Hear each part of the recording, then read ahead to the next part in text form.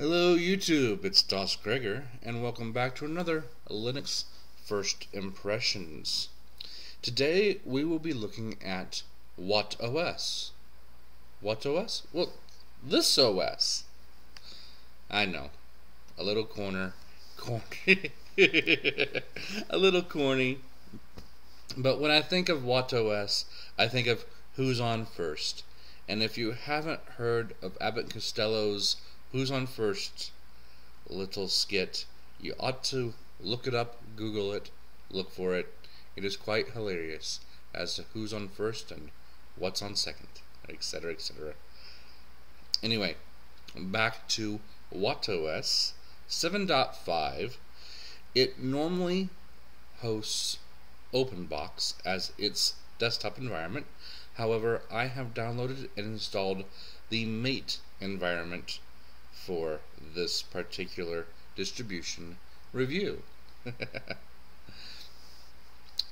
it is a very simple operating system, comes very bare bones, will work on older hardware, netbooks, is meant to be as lightweight as possible, comes with next to nothing installed. However, when I first installed it, even though this is 7.5 and I believe 8.0 is coming out soon, I did notice that immediately upon doing so, with the Ubuntu Software Center, and if I didn't mention, which I don't think I did, this is a Ubuntu LTS distro based operating system. And as soon as I started it up, of course, it said 1304 was no longer supported, that if I wanted to continue, I needed to go ahead and update to 13.10. That took me from old kernels, such as 3.8 version of the kernels, to 3.11 version of the kernels. It updated everything to the latest repositories, and I crossed my fingers and crossed my toes and went, oh my goodness, here we go!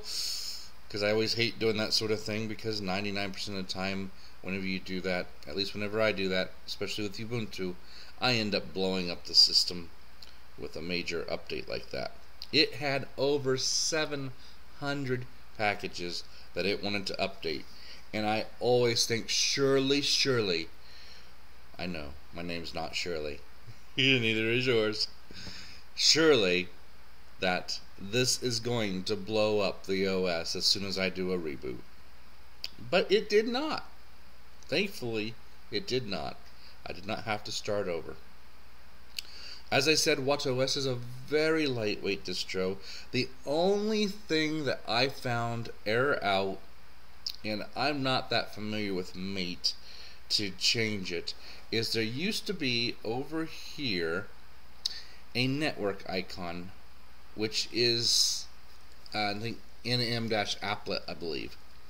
Now I can run it manually and I can get it to run. And if I go into the system's preferences and find it, I can tell it it's it's checkmarked to run at startup, but for some reason it just will not show up. And that's sometimes important because right now I'm on my older DV8T laptop and the wireless is very flaky on this, so I've got to have those little warnings that pop up say, "Hey, you're no longer connected," so that I know that something's not working right. And that has not come back and I have not gotten it back. But for uh, the review I decided to forego looking and trying to figure it out. The only other problem that I ran into the installation was very simple.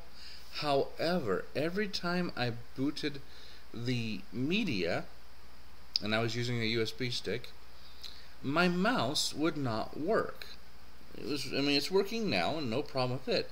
But for some reason, it would get booted all the way in. I could log in with the guest account, and uh, there would be no mouse at all. I'm not sure if that was a bug with my hardware or a bug with my media, but after about the third or fourth attempt, it just suddenly started working, and I've not had a problem since then. So I'm not quite sure what that was about. Partitioning the drive was simple, very straightforward. Installing was quite easy, as I said. No scary parts or confusing questions. It just all went very smoothly. Now, another thing about this particular OS being so lightweight is it comes to nearly nothing to use inside, which can be good and can be bad. It's not for someone to install and want to test out Linux for the first time. If you're a seasoned Linux user and you know what you want, this and you and you need something that is lightweight and will go onto some older hardware, whether that's a desktop, a netbook, etc., then this is the type of an OS that you might want to look at if you like Ubuntu. The basics here, it does come with Chromium and it does come with the Ubuntu Software Update Center and Software Center. It has a very um, GNOME 2.x look and feel, which I kind of like because I'm anti 3.x. So even though this is mate, it feels like you're in GNOME. You've got all the simple things that you're used to seeing here. And the software is quite quite small. Mean, simple packages here. As you can see in the accessories, very little. Graphics, the internet, of course, just a few FTP, uh, BitTorrent, browser, dictionary. Does not come with any type of a desktop office suite, uh, as well as it doesn't come with GIMP. A lot of things. It's like I said, yeah, bare minimal, just what you need to get by. In fact, you know, I should mention that in the sound and video, of course, it came with Audacious, GUVC, and Simple Viewer and VLC. I had to install myself so that I could test my videos and record and do what I'm doing right now. And it did come, of course, with the CD burning software XF Burn. In the system tools, of course, it's using the Caja uh, file manager system and just has some basic mate applications as your ter terminal and system monitor. That's it. Plain, simple, easy to go. It has been very quick on the system this week. It has run very well. I've had no complaints, especially since I was able to update all the software and it had a lot of updates and it didn't crash.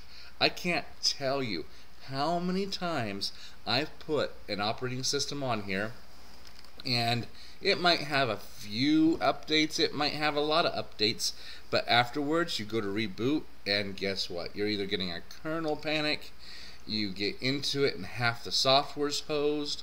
I had one that the graphic system was so screwed up that I was getting artifacts all over the screen. It was so bad. And that doesn't happen often, but sometimes it does. So it is good to know that even after a large update such as this, it still ran very well. Now, also, just to mention, you say, well, I've got so little, well, how do I get it? Well, if you're a seasoned Linux user, you'd know that you can either use the apt-get at the command line interface to install software, or if you go into System and Administration, you should be able to go into the Synaptics Package Manager, and because it has all of the repositories that Ubuntu has, you should be able to find just about any software that you'd like to install. Click on it, ask it to install it, get all the dependencies, and have it there. So you can have the GIMP, you can have LibreOffice, you can have Calibre, whatever it is. And that brings me to another thing. The WattOS website does have an IRC channel. There is no IRC software on here, but with Synaptic Package Manager, you can install XChat or IRC or your favorite IRC program altogether. So they do have a place that you can go to ask for help. Their website is updated constantly, and they are coming out with 8.0 pretty soon. It's it's just about ready for release from what I could read. Everything about it seems to be pretty good. So, if you're looking for lightweight, you like Ubuntu, check out WattOS and see if that's what will work best on your hardware. If you're not looking for a Ubuntu, but you're still looking for a lightweight uh, distro, I would also suggest that you consider the Debian distro that I've used a lot, which I really like that's lightweight too, which is Antix. A N T I capital X. I've had very good luck with that as well. Very similar to this. Works very good out of the box. But Debian based instead of Ubuntu based. Well, thank you all for watching. I hope you enjoyed this small distro review. Whether it's morning, evening, noon, or night, whatever you're having, I hope you enjoy it, and we'll talk to you later for next week's Gentoo First Impressions. Bye, guys.